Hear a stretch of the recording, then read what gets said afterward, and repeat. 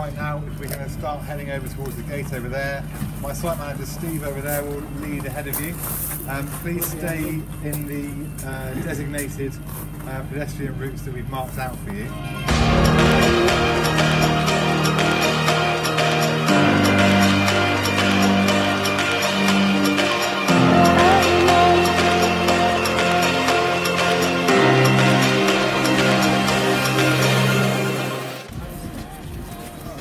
I'm sure I've got the right certification.